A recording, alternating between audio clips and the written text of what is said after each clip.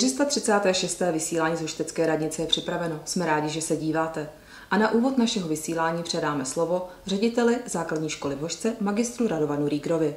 Vážení spoluobčané, dovolte mi, abych vás seznámil s akcemi, které pro tento školní rok připravuje základní škola společně s občanským združením Hoštecké děti. Obě organizace spolu úzce spolupracují jak na organizaci vlastních akcí, tak i na jejich personálním zajištění. Školní akce. Jedná se o projekty školního vzdělávacího programu, které vhodně doplňují výuku. Den matek, Den země, volby, Vánoce, zimní víceboj, relace, braný den, český ráj s rafty a cyklokurs České středohoří. Dalšími tradičními akcemi jsou říjnový zájezd pro vyhodnocené žáky, Den otevřených dveří 24. října, školní ples a ozdravný pobyt. Pedagogové školy zajišťují také činnost mnoha zájmových kroužků, které jsou pro zájemce z řad žáků bezplatné. Pro tento rok to jsou kroužky. Astronomický, keramický, taneční, angličtina, míčové a sportovní hry, judo, ruční práce, hra na kytaru, tvorba školního časopisu, počítačový a zdravotnický kroužek. Občanské združení Huštecké děti pořádá pro tento rok strašidelnou stezku 24. října, zájezd do Babylonu 29. října, lyžařské zájezdy 19. prosince na Obří sud, 24. ledna do Rokytnice a 21. února na Klínovec a již tradičně Den dětí. Na závěr děkuji jménem svým i jménem předsedkyně občanského združení Hoštecké děti Ireny Nádvorníkové všem, kteří se podílejí na organizaci a finančním zajištění jmenovaných akcí. Další slovo v našem vysílání předáme starostovi města Hoštky, inženýru Ivo Pernovi. Vážení spoluobčané, dovolte mi, abych vás v dnešním vysílání pozval ke komunálním volbám v našem městě, které proběhnou 10. a 11. října. Začnou v pátek ve 14.00 Volební místnost bude otevřena do 10 hodin mm, do večera. V sobotu e, se otevírá volební místnost e, v 8 hodin a zavírá se ve 14.00. Výsledky voleb budou oznámeny na e, webových stránkách města. Dále bych chtěl připomenout jednu zajímavou věc. Po minimálně dvou letech příprav dochází k tomu, že z vyhlídky na Vinicích se začala eh, dělat cyklostezka, která spojí vyhlídku s obcí Brzánky a mám tím na mysli eh, spojení nejenom tohoto pěkného místa pro výhled na Labe, ale spojí nás tato cyklostezka i s pravou, s pravým břehem Eh, této řeky a do blízkého budoucna by tato cyklostezka měla navazovat na páteřní eh, cyklistickou komunikaci spojující, eh, spojující město Roudnice s městem Štětí po pravém břehu řeky. Krátkosti nahlédneme do Hoštecké obřadní síně a slovo předáme paní Ani Podpěrové. Dobrý den, vážení spolupčané. Dnes bych vás chtěla upozornit na takovou zvláštnost, kterou máme v Hoštce. Trošku se vrátíme do historie. V 90. letech jsme měli tyto prostory zcela zdevastované. Tady byly krysy, myši, hromady odpadků a e, samozřejmě pamětníci vědí, jak vypadalo náměstí, žádná dlažba, nic. A problém byl, že jsme měli chuť, nápady, ale nebyly peníze. Takže jsme scháněli, nebyl internet, to jste se nemohli podívat, nebylo nic k dostání, to byl prostě začátek 90. let. Tak ku příkladu, tato dlažba nádherná, ten úl takový včelí plást, to je zbytek eh, dlažby skladna kterou v Kladně dělali v historické budově a dali to někam na anonci a my jsme si proto jeli dokladna a bylo to velmi levné, je to krásná trvanlivá dlažba. Stejným způsobem ta krásná kudrnatá dlažba na náměstí, to nemají nikde v republice, protože my jsme zjistili, že v severních Čechách úplně na hranicích je malá firma, která vyrábí pro historická města v Německu dlažbu. A zase ten pán už rušil ty formy, prostě už zakázka, zakázku neměl a my jsme odkoupili celý zbytek té dlažby, proto bohužel máme jenom náměstí a několik ulic a ty další už prostě není. Tato krásná kudrnatá barokní dlažba, která se tak hodí k našemu náměstí, už neexistuje, to je další zácnost. Ale úplně největší zácnost jsem si uvědomila asi před třemi týdny v televizi, když vyzdvihovali manžele Kantovi z Lubence, že získali prestižní zakázku v New Yorku, jsou to nějaké galerie, kde budou dělat vitráže a říkali tam, že ze 40 zemí z celého světa se ucházely firmy a že tato malinká rodinná firma, tito Kantovi, vyhráli tu zakázku, kterou budou dělat v eh, New Yorku. Ale kromě toho jsou velice ceněni na Expo v Miláně, jako příkladu. Získali zakázky do různých chrámů anebo i vládních budov, kde dělají vitráže. A kromě těchto renomovaných objektů je i v Hořce dílo manželů Kantových. Ale jak to bylo, před 30 lety byli začínající, my jsme je tak nějak v průběhu jejich začátků zachytili, ale už měli hezkou firmu v tom Lubenci. Byli jsme se na ně podívat, zajeli jsme tam a domluvili jsme se, že vitráže udělají podle našeho návrhu. A já jsem zadala, rozhodila jsem mezi známé, mezi umělce, aby nám udělali nějaký návrh. No, sešlo se jich, je ta jejich složka na radnici, někdy se můžeme podívat. Oni mi z toho dělali buď to kostel, prostě něco úžasně vznešeného, eh, takového gotického, anebo udělali zase obrovskou modernu, jenom čáru. A já jsem si říkala, to se sem nehodí do, těch, do té klenby a do toho, že jsme venkovské městečko. Tehdy jsme samozřejmě ještě neměli titul města. Já chci něco, co by bylo pro nás venkovské, krásné, a hlavně radostné, protože tady jsou samé radosti, tady vítáme do života, tady máte potom svatbu, za pár let uteče to jako voda. Já jsem chtěla, aby to asociovalo pozitivní náladu. A tady v Lišce, která taky byla ještě rozbořená, začínal, eh, pracoval nějaký mladý eh, kluk, kovář a my jsme spolu tak jako dali řeč a já jsem mu říkala, vy jste umělecký kovář, ano, byl vyučený a tak dále. Já jsem říkala, člověče, oni mi vůbec nerozumějí, oni nevědí, co chtějí, co chci a tak jsem se tak jako stěžovala na ty umělce a on řekl, já to zkusím. A asi za dva, za tři dny přišel a přinesl tyto půvabné, krásné stromy. No mě to tak chytlo za srdce, že jsem prostě říkala, hele, bereme, bylo to za pár korun ten jeho návrh. Já vím, že dneska by byl také už je renomovaný umělec. A on mi měl i takovou, takovou poezii v sobě, že tato bříza se jmenuje Zimní bříza. Máme tady například paní Javloňskou, teď je to krásné, podívejte se na to. Samozřejmě je tady i tis, krásné barvy, prosvítá. A potom pan Haberman. Vidíte Habr a už je to Haberman. A poslední z těch krásných oken se jmenuje, je tak jako trošku švestínu, a to měsíční dub. No, teď je to krása, podívejte se ta poezie. Takže udělal plný takový plný rám. Já jsem jako zootechnik říkala, hele, to se musí otvírat, to musí se čistit okna. Ty okna byly strašná tenkrát, to proto jsme to také dělali, neměli jsme peníze, e, plastová okna tehdy nebyla. Tak to sloužilo i zakrýta okna. A já jsem říkala, jak se to bude čistit. Tak zase jsem co by zootechnik vymyslela kolečka, tak to tam udělal taky. A pořád jsem říkala, když mně se to ještě nezdá, já nevím, takový plný a takový. A on druhý den přišel a přinesl díry do toho. Podívejte se, v každý, každá ta vitráž má jinou díru. A já jsem říkal, to je nápad, ale jak jste na to přišel? A on říkal, ráno, když jsem snídal ementál.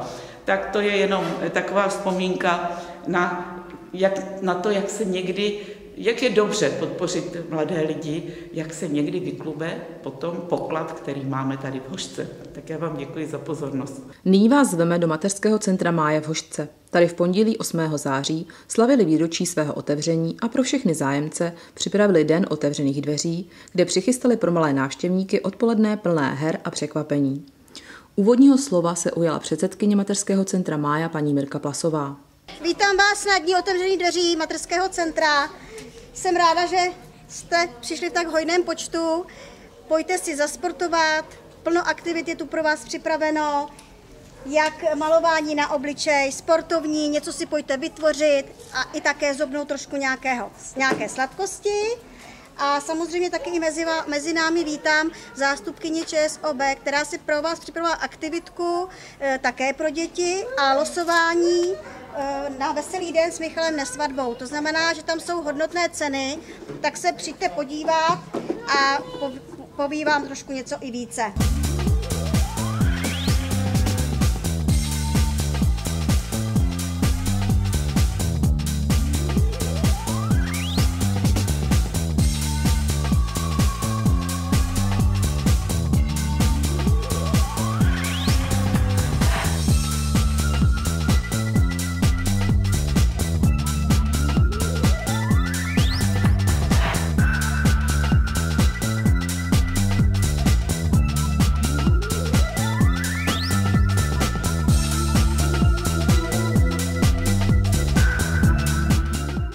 Nyní pro vás máme matriční blok říjnových jubilantů.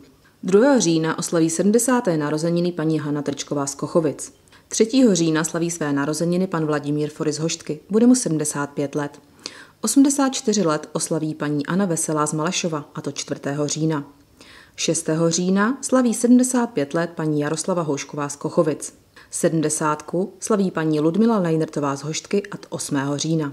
20. října se narodila paní Marie Chvátalová z Hoštky, té bude 84 let.